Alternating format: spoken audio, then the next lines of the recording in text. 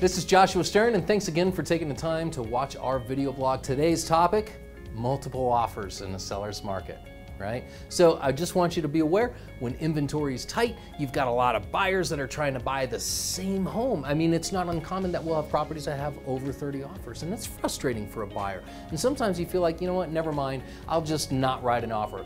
But today I want to teach you how to write an offer that will stand out above the rest. Number one, I want you to look at that earnest money, okay? Earnest money tells the seller that you're serious about getting to the closing table.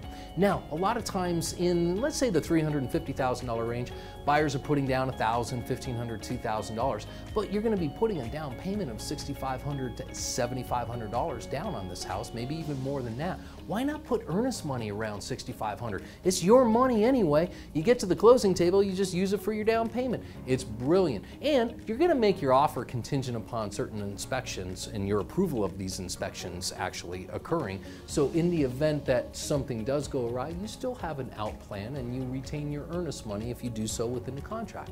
All right, the second good idea for you is this. Every buyer that we have will have an approval letter, right? So we got 30 offers on one property, a bunch of pre-approval letters, but I want you to take this one step further. It's what we call the golden ticket, all right? So you can talk to our preferred lenders, Veritas, and they'll provide you a full underwriting free of charge. And this is actually a document that shows the seller that you're essentially a cash buyer. And we know in this market, cash is king. So help rise your offer above the rest with something as simple as getting an approval letter or a full underwriting letter or what we call the golden ticket.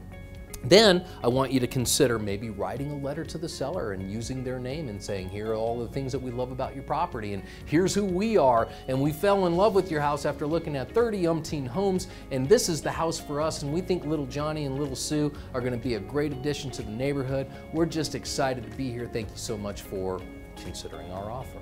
The other thing I want you to consider too are the due diligence timeframes and the appraisal timeframes. You see, if you're working with our lender, for instance, you have a full approval letter, right, and complete underwriting approval letter. You don't need an extra 21 days to go through the loan process, okay? They've already ran you through the loan process. So for uh, uh, uh, an uh, a financing contingency, keep it short, 14 days, maybe even less than that. Maybe you don't even need a financing contingency after all. You might need an appraisal contingency, but just talk to your lender. Have them order the, the appraisal right out of the gate so you're not waiting. You can get an appraisal done in seven to 10 days, okay? Same thing with your inspections. Obviously, you want to inspect the home that you're going to spend your hard-earned money on, biggest investment of your life. I'm just saying see if you can get an inspector lined up ahead of time that can do that inspection in three or four days, give you a couple of extra days to review the items and negotiate in the event that there are issues that come up. But I want you to be aware, in this market, sellers are like, I'm not gonna deal with any of these little piddlywink uh, issues. The only issues that we're seeing sellers take care of now are serious safety concerns, major deferred maintenance items that sellers weren't previously aware of, all right? Now, the other thing I want you to consider, and this is really important, you guys, is possession period. You see, buyers, of course, when you buy the house, you wanna go and move in right away, but understand that sellers have to move too, right? Maybe they've been there 15, 20 years. They got a lot of stuff to get out of that house.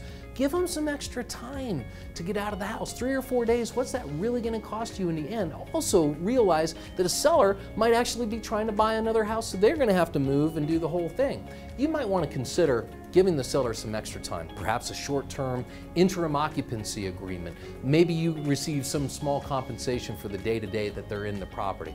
But definitely know that to a seller, sometimes having some extra time to get out of the property is handsome and helps your offer rise to the top.